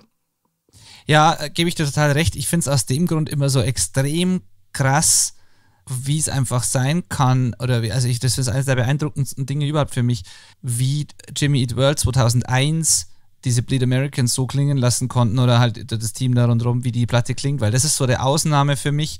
Da hat zu dem Zeitpunkt hat alles andere nämlich nicht ansatzweise so geklungen wie die ja, Platte. Das richtig, ist unfassbar richtig, ja. aus heutiger Sicht, weil das ist so ein Ding, das funktioniert heute immer noch eigentlich und es klingt unfassbar modern eigentlich. Aber so in der Ära, wenn man so mal vergleicht, was da sonst in der Richtung mhm. draußen war, das ist Tag und Nacht. Das ist Wahnsinn. Also. Absolut, ja, das stimmt. Was macht denn für dich einen zeitlosen Sound so aus, dass du sagst, du willst, dass es modern klingt natürlich, aber du willst jetzt auch wahrscheinlich eben nicht, dass jemand dann eben in zehn Jahren sagt, naja, so haben halt damals die Platten geklungen, so, sondern das soll ja dann auch noch funktionieren. Ähm, was, was macht denn für dich so einen modernen, aber irgendwie trotzdem auch zeitlosen und nicht zu klischeehaften Sound aus? Dass es sich lange hält. nee, also das, ja. das ist tatsächlich ähm, ja ein bisschen schwer zu sagen, weil ich lebe jetzt in einer Generation, wo ich den Sound von Anfang 2000er, Mitte 2000er bis jetzt gut finde. Mhm. So, wenn jetzt, ähm, wenn ich mir jetzt aber Platten aus den 70ern anhöre, dann haben diese Platten alle irgendwo ähnlich geklungen. Das heißt, es war mhm. für sich die, die guten Songs und die Songs, die man nach wie vor hört, sind die ja auch irgendwo zeitlos. Aber trotzdem weißt du, okay, es war aus der Ära. Und ähm, ich glaube, da ist es schwer zu sagen, soundmäßig Zeitloses zu schaffen. Aber was man natürlich schaffen kann, ist zeitlose Songs zu schaffen. Mhm. Dass man irgendwie, dass der Inhalt und die Melodien auch Leute nach 20 Jahren, 40 Jahren noch ansprechen und noch toll klingen. Was ja jetzt Songs von vor 40, 50 Jahren auch noch machen. Ja. Obwohl man weiß ganz genau, okay, hey, das ist von da und da, aus der Zeit. Ja, stimmt. Es gibt aber da auch Negativbeispiele für mich. Es gibt so bestimmte, wo wir vorhin bei Metalcore waren zum Beispiel, äh, und nicht, dass ich das Genre generell nicht, nicht, nicht mögen würde. Es gibt da auch ganz super gute Sachen sogar, aber es gibt so gerade im Anfang zwei oder ja generell 2000er in dieser äh, in diesem Jahrzehnt gibt es ein paar so, paar so Platten, die habe ich damals total mega geil gefunden und wenn ich die jetzt höre, das ist so, da, da, merkst du sofort, von wann die Platten eben sind, dass es aus dieser mhm. Ära eben ist, dieses typische Metalcore-Ding, das damals aufgekommen ist und groß geworden ist, das danach dann wieder ein bisschen organischer wurde oder ein bisschen anders klingt jetzt wieder. Aber so, es gibt so, keine Ahnung, so ein paar Jahre, wo einfach, da, da weiß ich einfach instant, das ist aus dieser Zeit und da finde ich es eher nicht so ganz gut. Das ist jetzt nicht so wie bei den 70ern, dass ich sage, oh ja, mein, so hat es halt geklungen, es funktioniert aber voll, sondern da ist es mir fast schon ein bisschen zu, keine Ahnung. Aber zu, ist es, zu, ist, ist es, weil du dich weiterentwickelt hast in deiner Hörgewohnheit und in deiner, in deinem, ähm, in deinem Job quasi? Weil das ist mir nämlich genau auch so ähnlich aufgefallen, wo ich, ich habe eine Platte im Kopf gehabt, ich habe die lange nicht mehr gehört und ich, du hast ja immer so ein bestimmtes Bild in deinem Kopf mhm. und, oder ein emotionales Bild vom Sound in deinem Kopf. Also bei mir ist es zumindest so. Und ich habe mir die Platte dann angehört, ich weiß leider nicht mehr, welche das war, und dachte mir dann, vor krass, es klang nicht so schlecht in meiner Erinnerung. So, und das ja. ist, glaube ich, so, so, wo ich mir denke, hey, hört's aber dann der, ich nenne es jetzt mal der Laie, hört der es dann so, wie es in meiner Erinnerung ist oder war. Das ist halt eben, das ist der Punkt. Das geht mir total so. Da, da gibt es aber, also geht mir voll so, weil zum Beispiel so mit äh, der, die, die Bands, die ersten Bands, die ich super geil fand und gehört habe, so als ich irgendwie mit 13, 14 Skateboard gefahren bin und keine Ahnung, dann waren das halt Pennywise, NoFX, Lagwagon, so die 90er mhm. Punk-Bands und sowas. Und dann keine Ahnung, Anfang 90er, Mitte 90er Punkrock-Alben klangen ja zum Teil auch schrecklich, also rein technisch jetzt gesehen, das ist schrecklich, mhm. aber halt anders als heute, lang nicht so modern und dünn und aus heutiger Sicht äh, würde man sagen, also nicht, nicht eben gut im Vergleich. Ja, genau. Das war mir damals völlig scheißegal, ich fand die mega geil, die Platten ja. alle. Manches davon, also jetzt rückblickend denke ich mir, dann ist mir nie aufgefallen, dass das Zeug so klingt. Also das ist mal das eine, was du jetzt sagst, dass dir das dann später erst auffällt. Mhm. Gleichzeitig aber ist es in dem Fall bei mir nicht negativ behaftet, weil ich, weil der die emotionale Verbindung von mir zu diesen Platten und was die halt mit ausgelöst haben bei mir so da ist, dass ich die halt immer noch geil finde, auch wenn die so klingen. Also ich würde jetzt selber sowas mhm. nie so klingen lassen, vermutlich heute, aber es stört mich jetzt nicht, weil ich eine positive Erinnerung damit verbinde und weil die Platten müssen für mich so sein. Mhm. Die dürfen gar nicht anders klingen. Die sind so und so müssen die immer sein. Und bei anderen Sachen eben, jetzt wie beispielsweise bei dieser Battlecore-Phase, die ich auch mitgemacht habe und die mir auch, das mir auch total gefallen hat, da ist es komischerweise anders. Da ist es so, dass ich die Songs immer noch, also auch dieses ähm, Nostalgische zwar ein bisschen habe, aber da denke ich mir dann so, ach, klanglich ist es irgendwie, keine Ahnung, ist mir zu, zu, zu ich, ich finde das richtige Adjektiv gar nicht, aber keine Ahnung, das, das zu kitschig vielleicht manchmal oder zu, mhm. weiß auch nicht, mhm. wie, wie ich es sagen soll. Das ist irgendwie ein Unterschied, aber keine Ahnung, woran es liegt. Ja, also ich glaube, die Songs, die, mit denen du dann eine bestimmtes, ein bestimmtes Erlebnis äh, äh, hast oder was mit einem bestimmten Be Erlebnis behaftet sind, das sind dann die zeitlosen mhm. Songs. Die mutieren dann zu zeitlosen Songs und deswegen ist es, glaube ich, schwer zu sagen, wie macht man oder was ist denn die Idee eines zeitlosen Songs, sondern das entsteht dann über die Zeit eben. Ja. Es ist, ja, so blöd es auch klingt, aber ja, deswegen, ich kann es ja, ich kann es dir jetzt nicht sagen, warum ich den Sound so ja. oder warum ich den so machen wollte oder gemacht habe. Einfach, das war aus dem Bauchgefühl heraus. Und ja, ich finde es super. Und ich hoffe, ich finde es nach fünf Jahren immer noch super. Na, ich finde auch, ich finde auch, dass die Platte äh, hervorragend klingt. Also auch da äh, Hut ab tatsächlich. Also äh, fand ich wirklich, Dankeschön. Fand, fand ich wirklich total super. Und da würde ich mich jetzt natürlich ähm, ich habe da ein bisschen damit gewartet, mit dem, mit dem ganzen nerdigen Zeug anzufangen jetzt in der Episode, sonst verlieren wir die Hälfte der Hörer gleich am Anfang schon wahrscheinlich. ja. Aber mich persönlich interessieren natürlich solche Dinge auch wieder. Ähm, Gab es für dich da ein Motiv, was das betrifft? Oder war das auch eine reine Bauchsache, wo du klanglich hin wolltest damit? Also du hast vorhin ja gemeint, ja, die Prämisse war ein guter Sound und dieses eben, du, mhm. das, diese, diese Ära, wo du gesagt hast, so würdest du gerne, dass das hättest du gerne, dass das klingt. Aber gab es so ganz speziell so in deinem Kopf so, okay, ich will das so machen, ich will die, die Strategie fahren für die Produktion praktisch, will das gerne mal ausprobieren oder was, was war da so das Ziel? Eine Platte, die ich, die soundlich ein Vorbild war, ist für mich die, äh, warte mal, wie heißt die? Da, wo Big Casino drauf ist von Jimmy Eat World. Chase This Light, jetzt hat.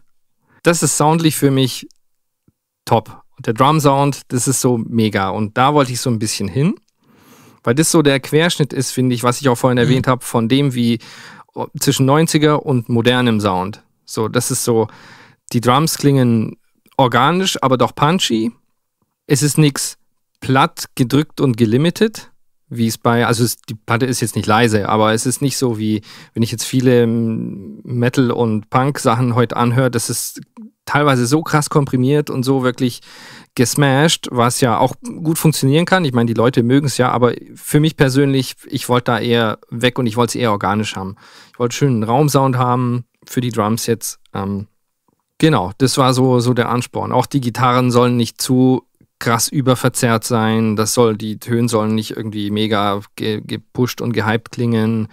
Ähm, der Bass darf schon knurren, der, das ist der, der am, ich sage jetzt mal, am metaligsten klingt von, der, von den ganzen ja. Sachen. Ähm, aber das, da stehe ich einfach auch drauf. Ja, volle Kanne. Bass, der irgendwie auch, das ich super. schön angezerrt ist, nicht zu überzerrt ist, aber trotzdem schön wie eine Harley klingt. Ja. Ich glaube, dass das, da muss ich kurz einhaken, sonst vergesse ich es nachher. Also fand ich jetzt super, dass du das Gleiche sagst. Ich glaube, das ist so mein häufigster Revisionskommentar, den ich von Bands kriege, wenn ich irgendwelche Platten mische oder mache. Also ich glaube, die eine Sache, die am häufigsten auf, auftritt, wenn Bands Revisionswünsche haben oder irgendwas ändern wollen an einem Mix, dass ich dazu neige, Bässe zu sehr, also für viele Menschen zu zerrig, mittig, knurrig oder, oder aggressiv zu mischen, einfach nur, weil ich es halt gern mag. Auch teilweise in Genres, mhm. wo es vielleicht nicht so ganz angebracht ist, aber einfach, mir taugt es halt einfach.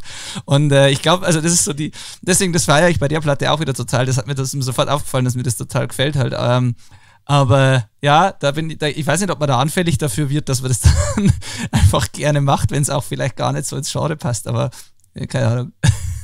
Ja, ich glaube, ähm, das ist auch, der, der, der Bass ist, wo man es am besten verstecken kann, mhm. wie viel man gemacht hat. Mhm. Weil so eine Gitarre oder so eine Lead-Gitarre, da fällt es ja ganz schnell auf, wenn du irgendwie einen bestimmten Delay oder irgendwie EQ zu krass eingestellt hast, dann das, das fällt sofort aus, auf. Aber wenn ein Bass irgendwie, da kann man schon unterschwellig voll krass Sachen machen und ja. die Leute checken es erst nicht und man denkt sich, yes. Ja.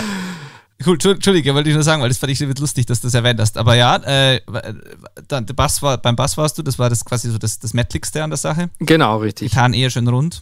Genau, schön rund und ähm, auch nicht, wie gesagt, da ist auch kein, kein Metal-Amp dabei, da ist kein, kein ähm, äh, 5051 oder so, sondern das ist wirklich, das sind Vox-Amps, Fender-Amps und genau, das war's. Vox und Fender haben wir, haben wir benutzt gehabt, ah, genau. Mhm. Und auch relativ leise, ähm, also verhältnismäßig die Gitarren, oder? Würde ich jetzt sagen. Was heißt leise? Aber nicht, nicht so ganz vorne platziert. Also es kommt einerseits durch die Ambience halt auch und durch diesen nicht so, mhm. also ja, durch, ja, aber es, mir, mir kommt so vor, als wären die Drums, Vocals, sind wirklich da, auch obwohl die Drums haben zwar einen Raum und so, aber die sind trotzdem, die sind halt da vorne. Die Gitarren nimmt man jederzeit wahr, auch die Akkorde und so, aber es ist nicht so, dass du permanent so ein Gitarrenbrett im, im, im Ohr hast. Ähm. Genau, das ist, das war, was ich auch ein bisschen gemeint habe. Also was, wo man mhm. äh, heute irgendwie eine, eine, Punk- oder eine Metal-Platte reintut und das, ich finde es ja auch cool, dieses Fette, dass es dich voll erschlägt und es ist sofort da. Das ist mega cool, ich liebe das. Aber wenn ich mir dann so eine Platte durchhöre, ich merke dann richtig, wie meine Ohren dann so, puh, okay, jetzt erstmal ein bisschen entspannen. Ja, und ja. Äh, bei uns ist es halt, ich meine, es schiebt schon gut. Man kann es ja nicht sagen, dass es, es sind ja trotzdem verzerrte Gitarren. Aber wie du sagst, ja, die sind klar. nicht so, die sind nicht so gehypt vorne dran und voll in, irgendwie voll gewidend oder so, sondern das ist wirklich relativ organisch und wirklich so, wie es, so wie die Band spielen würde, wenn du sie jetzt irgendwie auf der Bühne sehen würdest. Gab es da Gegenwind von den eigenen Gitarristen so? Gab es da dieses, äh, wir wollen aber die Rhythmus-Gitarren alles so vorn haben und jeden einzelnen Anschlag ganz prägnant und bloß keine zu lauten Drums und sowas? Nee, gar nicht. Also das, das finde okay. ich, find ich super, dass meine, meine Gitarre, ich nenne sie meine Gitarristen, meine Gitarristen ja. da sehr pflegeleicht sind und ähm, auch, ähm, die kommen auch nicht aus, aus der Metal-Richtung. Das heißt, die wollen auch gar nicht so in dieses, in dieses fette Breite und hey, Brett und gib ihm volle Kanne, sondern das soll dann einfach nur irgendwie schön rund klingen.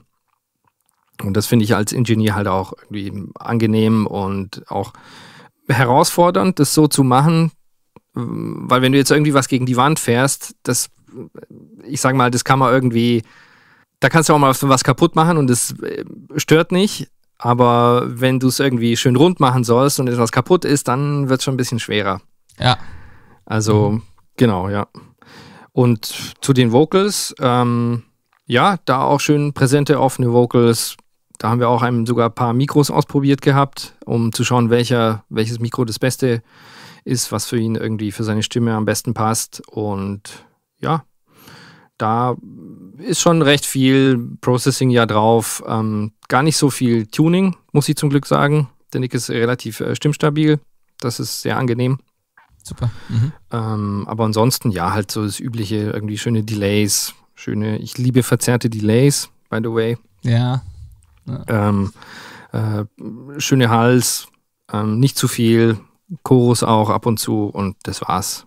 Ganz, eigentlich ganz keine übermäßig krassen, äh, freaky Sachen. Ist bei dem Mikro-Shootout was ganz Abgefahrenes rausgekommen oder bist du bei was gelandet, was, wo du, wo du wahrscheinlich nicht drauf getippt hättest? So? Ja, ich, also ich wäre mit allen Mikros zufrieden gewesen. Wir hatten, glaube ich, einen Neumann, einen Telefunken und das SM7. Die haben wir mhm. geoutshootet, shootoutet. Für mich, ich hatte mit, wie gesagt, mit, mit allen arbeiten können. Ich finde das SM7 persönlich immer interessant, weil es halt kein Kondensatormikrofon ist und dann kann man irgendwie, das kannst du richtig, äh, richtig an die Wand fahren und es klingt noch recht gut. Ähm, bei den Kondensatoren muss man ja immer ein bisschen aufpassen. Aber es wurde dann, ich dachte mir, hey, damit es wirklich, wirklich überall gut funktioniert, gehen wir doch fürs, fürs, äh, fürs Großmembran-Kondensator und das ist dann auch geworden. Ist auch, fand ich auch recht gut geworden.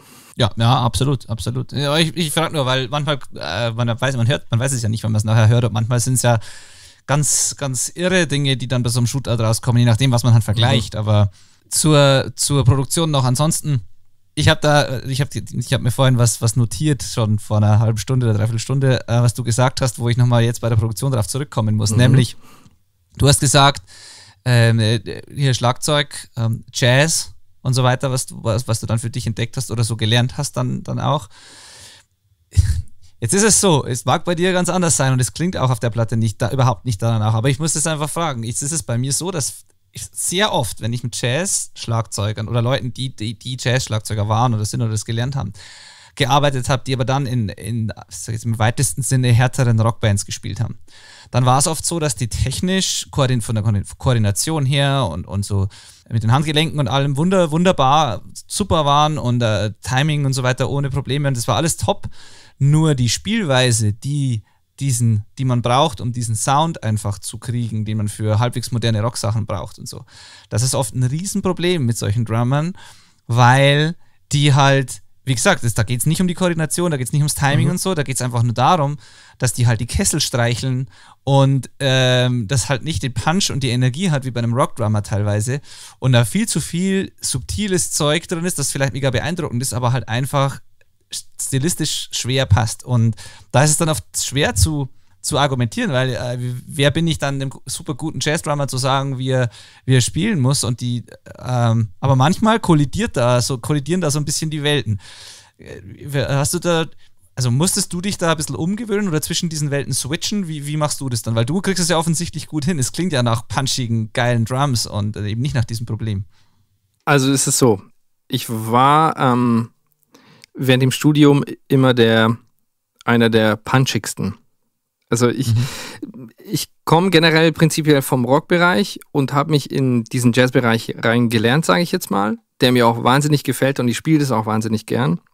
Leider mittlerweile zu wenig, aber ich habe diesen, diesen Rockpunch immer behalten und ich habe parallel auch zum Studium immer in Bands gespielt, wo wir halt ähm, Metal und Rock gespielt hatten.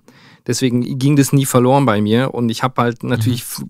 So gut es geht versucht, das zu kombinieren, dass man einfach eine gute eine, eine äh, proper Technik hat, aber trotzdem irgendwie, hey, hau drauf und spiel das Ding und streichel es nicht. Also das ist, weil, das ist absolut wichtig, dass man die Crashes halt einfach richtig crasht und die eine tiefe Tom, die klingt halt nur dann richtig geil, wenn du gescheit drauf haust und nicht nur so ein bisschen. Es geht nicht um die Lautstärke, das klingt halt anders. Genau, genau, richtig, richtig. Und das ist, ähm, ich tue mich auch immer schwer, leise zu spielen. Also das war auch immer in, in, der Vergangenheit, wenn man irgendwo gespielt hat und man sollte leise spielen. Klar versucht man es irgendwie, aber das war immer, immer ein Käse irgendwie. Also am liebsten fühle ich mich einfach, wenn man wirklich ordentlich reinschlagen kann. Und genau, dafür ist das Schlagzeug da. Ähm, ja, einfach auch eine, so eine gute Mischung zu finden aus filigranen Sachen unterzubringen, ähm, eine gute Technik, ähm, aber trotzdem es hörbar zu spielen. Das ist auch ein bisschen die Herausforderung, weil ich, ich denke mir persönlich dann immer, hey, schade, dass ich den einen oder anderen Phil nicht so filigran gespielt habe oder da gehen mir die Ghost Notes unter, aber da denke ich mir, hey, aber wenn ich das jetzt irgendwie ähm, ähm, äh, unterbringen versuchen würde, dann wäre es halt schon nicht so, würde es nicht so klingen, wie wenn du halt wirklich ordentlich reinschlägst. Also das ist tatsächlich, ähm, da hast du absolut recht. Ich merke es auch an anderen Drummern, die im Jazzbereich spielen. Fantastische Spieler, wie du sagst, aber wenn du die hinter einem Rockset spielst, dann, ja, dann wird es schon ein bisschen happig, weil dann geht es dann darum, okay, das Fell ist halt lapprig, du musst draufschlagen. Du musst jetzt nicht auf den Ton stimmen, sondern hey, da musst du einfach reinlangen. Und dann kommen die dann damit vielleicht nicht, nicht zurecht ja. und da, da, wie gesagt, bin ich ein bisschen mehr Chamäleon. So, ich kann mich auch mehr anpassen, aber eher Richtung Rock und Punch. Super. Und dann muss ich noch was anfügen, weil ich glaube, da werden sich jetzt der ein oder andere Hörer oder die Hörerin wird sich gedacht haben, hä, äh, wie Vocals Tuning und so. Weil du vorhin gesprochen hast davon, dass, dass ihr wenig äh, Tuning gebraucht habt bei den Vocals. Ähm, ich glaube, das ist sowas, was viele Musikhörer und auch so manche Band, die jetzt nicht so die mega Studioerfahrung hat, äh, gar nicht auf dem Schirm haben, dass ja Vocals im Nachhinein zu tunen gang und gäbe ist, beziehungsweise einfach Teil einer Produktion ist. Und zwar nicht, weil die Leute alle nicht singen können und man bescheißt äh, dadurch, sondern es geht einfach darum, eine, eine gute Performance nochmal ein Stück näher dahin zu bringen, wo sie halt hin muss, sodass die halt richtig perfekt sitzt und einfach die Wirkung erzielt. Also die Performance ist sonst ist im Idealfall vorher auch geil, aber man gibt ihm halt noch so einen kleinen Schubs, damit es halt richtig sitzt und nachher nichts ablenkt einfach, weil ähm, so, manchmal sind so ganz kleine Unsauberheiten zwar auch äh, Charakter, für den Charakter irgendwie wichtig und da muss man immer abwägen, was man genau korrigiert und was vielleicht ganz geil ist. Aber ich glaube, wenn Leute hören Vocals tunen, dann denkt man immer gleich so, oh, Autotune ist ja, ja schon so, so, so, ein Klischee. Also ich meine, fast jeder weiß heutzutage, was Autotune ist. Ja, also genau, wissen genau. nicht wirklich, aber so, sie glauben es zu wissen und dann denkt sich jeder so, was, die tunen die Vocals, kann ja am Ende gar nicht singen, ist alles nur Beschiss und so. Deswegen wollte ich das nur noch mal kurz gesagt haben. Das ist ein ganz normaler Teil des Prozesses und vermutlich sind, keine Ahnung, 90 Prozent eurer Lieblingsplatten getuned im Nachhinein, genau, richtig, ohne dass ihr es merkt. Also.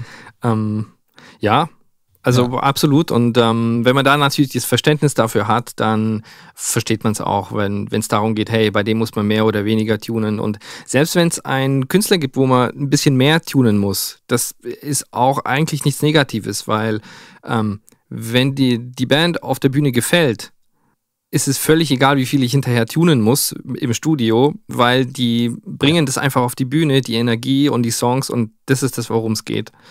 Und ähm, ich meine, klar, je weniger man stimmen muss, desto happier ist man als Produzent natürlich. Und ähm, das zeugt dann natürlich auch von, von sängerischem Können, sage ich jetzt mal. Aber wie du sagst, das hat nichts damit zu tun, dass der oder derjenige jetzt nicht singen kann oder die Band scheiße ist oder so. Ja, absolut, das, das stimmt.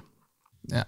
ja. Ich würde sogar im Zweifelsfall eine Performance, die wo der ein oder andere Ton nicht getroffen mhm. ist. Dafür ist aber die Energie mega geil und alles würde ich immer vorziehen. Eine Performance, die, auf, die perfekt stimmt, aber richtig, einfach nichts macht ja. mit mir. So, also dann, dann tune ich lieber die geile Performance und dann, dann passt es am Ende, weil das genau, kann ich halt richtig, halt nicht wieder herholen, dieses Gefühl. So. Wo, was, wo auch echt es Platten gibt, wo ich mir denke, boah, krass, da hört man es schon, wo es getuned worden ist, aber da ist so ja, viel klar. Energie dahinter oder so viel Gefühl, hey, das, das verzeihe ich dem. Ja, genau. Äh, es wird nur manchmal schwer mit, mit sehr rau gesungenen Vocals. Da muss man auch fairerweise sagen, je nachdem, also wenn Sänger sehr rau singen, also noch nicht schreien, schon äh, intonieren, aber halt sehr rau, dann tut sich so manche Software einfach schwer, das sauber zu erkennen und zu tunen dann äh, oder zu tunen zu lassen. Das ist oft so eine Gratwanderung, äh, wo man ein bisschen aufpassen muss und wo ich gerade, wenn Bands selber aufnehmen oder woanders aufgenommen haben und ich das Zeug dann nachher krieg, äh, zum Editieren, wenn es noch nicht editiert ist oder getuned ist, dann ähm, dann muss ich manchmal sagen, ich muss das erst probieren, wie weit wir das hinkriegen, weil das ist, könnte grenzwertig sein, so nach, also weil eben darauf nicht geachtet wurde. Also das, das finde ich eben auch, wie du sagst, faszinierend, dass man mittlerweile auch mehrere Stimmkorrekturprogramme äh, braucht, weil das eine Programm mit dem fertig wird, ja. das andere Programm mit dem. Also finde ich auch okay, aber ist halt irgendwie interessant, dass es nicht nur ein Tool gibt und das macht alles oder eben das Autotune, sondern ist, ist halt, ja, man muss das richtige Tool dafür finden, damit man das gut beheben kann. Ganz genau, ja. Ja, das ist äh, spannend. Äh, ich denke auch immer, da gibt's ja, das kann wahrscheinlich auch jeder nachvollziehen, das, was du vorher gemeint hast mit der Live-Energie. Wenn man auf einer Show ist und eine Band einfach mega cool ist, also geil spielt einfach und es ein super Abend ist, denkt man in den seltensten, wenn es nicht komplett verkehrt ist, denkt man in den seltensten Fällen drüber nach, ob der jetzt einen Ton getroffen hat oder nicht oder, oder die oder ob da jetzt irgendwie, also das halt, das funktioniert einfach, es ist ein super Abend, alles ist gefühlt genauso, wie es sein muss. Und wenn man sich dann nachher zum Beispiel Live-Aufnahmen, wenn man das schon mal gemacht hat oder so, von seiner Band oder von anderen Bands oder so anhört, nachher von dem gleichen Abend, dann denkt man sich schon oft so, jetzt ohne Scheiß, das, ich hatte das, also das war doch nicht, das ist dieser Abend richtig, so. Richtig, ja. Weil du in der, in der Energie und so, damit merkst du es einfach nicht. Und wenn du das dann leise daheim anhörst, fällt dir erst auf, wie schief manches einfach ist. So. Absolut. Da, merkt, da, merkt man, wie, wie es in den Hintergrund rückt dann. Ja. Genau, jedes Mal, wie du sagst, Handyaufnahme gemacht von der Band. Letztens, ich habe auch, ähm, weiß nicht, kennst du Dirty Loops zufällig? Nee. nee. Okay, das ist ähm, ganz anderes Genre auf jeden okay, Fall. Ja. Ähm, fantastische Band, fantastischer Sänger, wirklich, der singt so gut und live auch so krass gut gesungen. Und dann habe ich so eine Handyaufnahme gemacht, mir ist dann auf dem Heimweg irgendwie angehört und mir gedacht, boah krass, das, das klang doch nicht so schief. das klang doch astrein live. Also ist gut, es war jetzt nicht so krass schief, aber Ja, ja. man hat schon gemerkt, okay, also live, wo ich da vorstand, klang es viel, viel krass genauer drauf, wie es jetzt auf der Handyaufnahme hinterher ist. Also ja, absolut. Die Energie macht einfach sau viel aus. Ja. Ja, total. Jetzt waren wir, haben wir so ein bisschen den Nerd-Talk auch untergebracht, was aber auch wichtig ist, weil es geht ja alles Hand in Hand. Ich meine, am Ende steht ein Gesamtprodukt, das aus den Songs, aus der Produktion, aus den Texten, aus allem halt besteht. Und ähm, deswegen ist es super interessant, mal mit jemandem auch zu sprechen, der dieses ganzheitliche dann halt so, so mitgekriegt hat und, und, ähm, und so sieht. Was gibt's denn von deiner Seite noch so zu sagen? Was, was steht jetzt demnächst an? Ähm, ich meine, es ist ja noch aus jetziger Sicht, jetzt haben wir es praktisch Ende März. Es dauert jetzt noch ein bisschen, bis die Platte rauskommt. Was gibt's von dir, von euch in der Zwischenzeit noch, was man ankündigen könnte oder was ansteht? Wie nutzt ihr jetzt die Zeit so auch in der Öffentlichkeit noch, in der man jetzt aber daheim sitzt? Ja, genau, wie du sagst, eigentlich abgesehen von der Platte. Es kommt die nächste Single raus, im, jetzt am 7. glaube ich. Das Problem ist, ich bin der Schlechteste, wenn es um Termine und um Dates und um hier und da geht. Das ist äh, furchtbar bei mir, weil dann äh, mich fragen dann Leute live irgendwie, oh cool, wann kommt denn die Platte? und ich so, äh, äh, äh, also ich weiß, dass im Mehr Mai kommt, aber ich kann jetzt Ja. nicht das genaue Datum sagen. Am 8. Mai kommt die Platte auf jeden Fall, das kann ich dir sagen. Genau, richtig, richtig. Weil es ist ja immer so, meistens sagen dann die Leute so, naja, äh, jetzt spielen wir dann vorher noch da und das machen wir da ab. Das fällt ja jetzt alles im Moment aus. Deswegen äh, würde es mich einfach interessieren, ob ihr dann da Alternativen für geplant habt, ob es noch irgendwelche Streaming-Geschichten gibt vielleicht oder. Streaming-Geschichten, ja. Ich kann dir nur gerade nicht genau sagen, wann was ist, weil es sind einige Ah. Sachen geplant, die noch nicht feststehen, wann die, ähm, wann die gestartet werden oder wann die auch released werden. Es kommt nur jetzt die nächste Single halt raus Okay. ähm, in, in ein paar Tagen, jetzt in einer Woche, glaube ich. The Windshields heißt die. Gibt es auch ein Video dazu. Dann halt eben die Platte und wir versuchen halt jetzt, wie gesagt, so zwischendrin irgendwelche kleinen Aktionen zu machen, wo wir dann eben live zusammenspielen mit verschiedenen Kameras, jeder bei sich daheim. Aber wie gesagt, ich kann dir jetzt leider schwer sagen, wann das genau getimed ist und wann das rauskommt. Es wird alles irgendwann in jetzt die nächsten ein, zwei Wochen passieren. Ah, okay, ja. Und dann noch ähm, letzte Frage, die mich auch immer, frage ich jeden Einzelnen, fast jeden Gast bisher gefragt, solche Dinge, aber auch bei euch interessiert es mich. Ihr macht die Platte wieder über Uncle M, richtig? Mhm. Genau, und auch das erste Album war, glaube ich, bei Uncle M schon. Ja. Jetzt, wenn bei einer Band, die es noch nicht lange gibt und die jetzt nicht so die hunderte von Shows so vorweisen kann oder irgendwas, wo, wo man sagt, das das war jetzt schon so ein riesengroßes Ding. Was habt ihr gemacht oder warum denkst du, wart ihr für ein Label oder für Partner, die, die mit, denen, mit denen ihr zusammenarbeitet, so interessant? Weil das sind so die Dinge, die, die halt Leute auch immer wieder fragen und wo ich einfach weiß, dass auch die, die jetzt zuhören, einfach immer interessiert, wenn es dann, dann heißt, ja, die bringen ein Album raus und da ist ein Label im Spiel und so weiter. Was haben die denn gemacht, dass das geklappt hat? So, kannst du das festmachen bei euch an so ein paar Dingen, die, die, die zu diesen ersten relativ schnellen Erfolgen geführt hat und auch zur Zusammenarbeit mit, mit, mit anderen, die bereit sind, da euch zu unterstützen? Also du zwingst mich jetzt zum Eigenlob. ja klar, genau. Nee, das ist einfach, äh, einfach gut zu wissen immer, weil äh, da- das wissen einfach viele, tun sich da schwer oder, oder Also ich, ich denke mal in erster Linie natürlich, wir sind, wir, wir sind eine Band, wir machen Musik, wir sind Musiker und ich glaube einfach, die, die Songs haben halt einfach den entsprechenden Leuten, glaube ich, natürlich gefallen. Und dass wir dann auch das, diese Energie auch live zu dem, zu dem großen Teil auch sehr gut rüberbringen. Was man auch, also ich persönlich daran merke, dass es für uns alle Spaß macht, auch live zu spielen und wir uns wirklich auch wohlfühlen und keiner sich verstecken muss, weil er jetzt irgendwie irgendwelche ähm, Unzulänglichkeiten hat und so weiter. Ähm, und ich glaube, die ein Label, die merken das dann auch. Also die finden die, die Songs gut, die sehen, hey, wir sind recht gut aufgestellt, also wir machen auch viel selber. Das darf man ja auch nicht vergessen, die eigene Arbeit von der Band. Das ist ja mittlerweile, wenn man es jetzt mal vergleicht, vor 12, 15 Jahren, da, was konntest oder was hast du da als Band gemacht? Wirklich nur ein Viertel so viel wie das, was du jetzt leisten musst. An, abgesehen von Demos, die mittlerweile klingen wie Platten von vor äh, zehn Jahren bis hin zu Promo-Arbeit. Ich meine, Social Media, du musst ständig irgendwie aktiv sein überall. Du musst irgendwie, du musst es hinkriegen, Videos machen zu können, ohne dass du dich irgendwie finanziell, bevor du noch nichts hast, irgendwie, dass du da pleite bist. Also das ist auch noch auch natürlich der finanzielle Faktor, dass man, wenn man natürlich viel Geld hat, dann kann man sehr viele Sachen gut qualitativ machen. Aber in, ich sage jetzt mal, in unserem Genre und in unserem Bereich ist es ein bisschen schwerer, weil da generell vielleicht die eine oder andere Band nicht so viel Geld hat auf der Kante.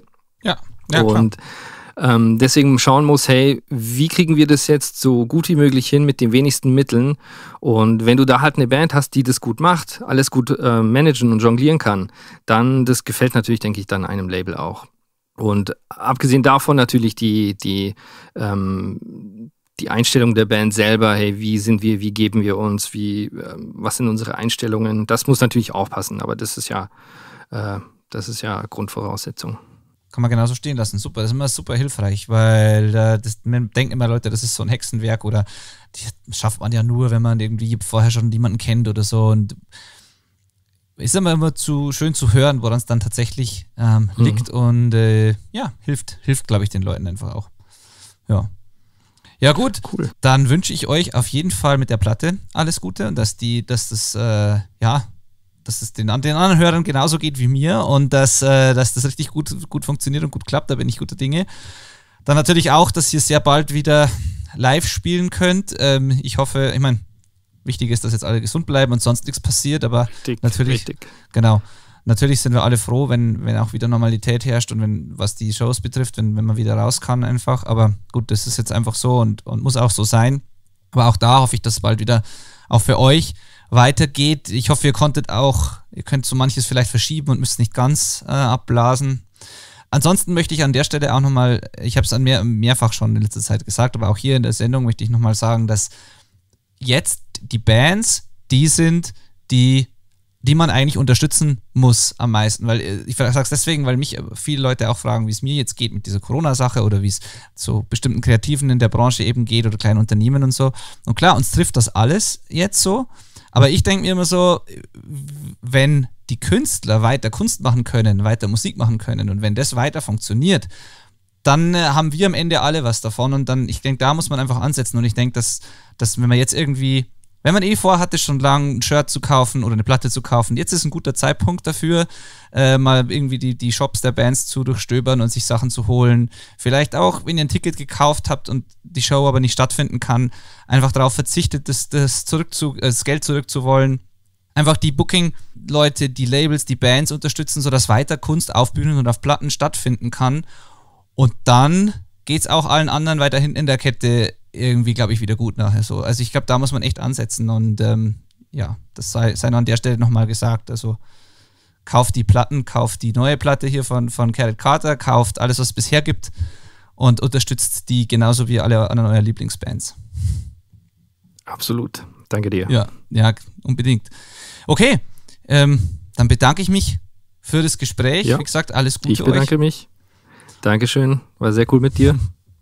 Ja, aber wirklich cool. Ne, war, war mir absolutes Fest. Und dann hoffentlich bis bald mal im echten Leben. So, also wieder im. im genau, ja, stimmt. Das wäre das wär, das wäre absolut mal interessant. Ja, doch, definitiv. Ja, und momentan, ich meine, momentan sieht man so viele Menschen auf Bildschirmen, wahrscheinlich wie noch nie vorher in seinem Leben. Deswegen freut man sich umso mehr, mal wieder Le Leute draußen zu treffen, einfach so. Ja, ja richtig, richtig. Ja. okay, super.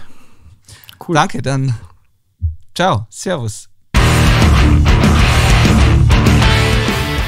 Wenn dir diese Episode gefallen hat, wenn dir der Podcast an sich gefällt und wichtig ist, dann würde ich dich nochmal bitten, auf iTunes zu gehen, auf Apple Podcasts zu gehen und dort ein Review zu hinterlassen. Im Idealfall mit Textbewertung. Das hilft einfach so unglaublich, noch mehr Leute zu erreichen und ähm, ist so das ziemlich das Beste, was ihr für, für mich als Podcaster tun könnt. Ich weiß, ich habe das schon ein paar Mal erwähnt in diesen Folgen und wahrscheinlich denkt einfach auch jeder immer, naja, irgendwer wird es schon tun äh, und man fühlt sich nicht selber ähm, so direkt aufgerufen, das zu machen. Ich bitte dich trotzdem, wenn es irgendwie geht, geh kurz auf Apple Podcasts oder auf iTunes und gib mir dort ein Review für diese, für diese Show. Gerade jetzt möchte ich einfach viele, viele Leute erreichen. Nicht aus Selbstzweck, sondern weil jeder jetzt daheim sitzt, jeder ähm, inspirierende, spannende Unterhaltung braucht, die für ihn relevant ist, die ihm den Tag vielleicht etwas ähm, spannender oder angenehmer macht. Und äh, auch den Bands kann ich durch diesen Podcast ein Stück weit helfen und anderen Leuten, die jetzt noch in der Pipeline sind, die demnächst hier im Podcast kommen. Ich versuche einfach hier wirklich ähm, ja für alle so ein bisschen Reichweite zu schaffen, ähm, bestimmten Menschen Gehör zu verschaffen und den Leuten daheim einfach, wie gesagt, die Zeit etwas angenehmer zu machen. Und wenn du den Podcast bewertest, dann rutscht der im Ranking einfach weiter hoch. Die Wahrscheinlichkeit, dass ihn jemand entdeckt, wird höher. Und äh, ich bin dir sehr, sehr, sehr dankbar dafür, wenn du das machst. Das war es auch schon an Aufrufen meinerseits heute. Bitte bleibt gesund, bleibt daheim, solange diese Regeln noch äh, gelten und solange es einfach Sinn macht. Ähm, ja, passt auf euch auf, schaut ein bisschen rum, haltet die Augen offen, wo ihr vielleicht helfen könnt. Ähm, passt auf die älteren Mitmenschen auf und ähm, ja, dann kommen wir gemeinsam schon durch, durch diese Zeit. Genau, wer weiß, vielleicht hörst du den Podcast wenn alles schon vorbei und wieder beim Alten ist. Keine Ahnung. Ich hoffe, es wird bald wieder so. Vielen Dank fürs Zuhören. Danke dafür, dass du mir eine Bewertung hinterlässt und bis zum nächsten Mal. Ciao. Servus.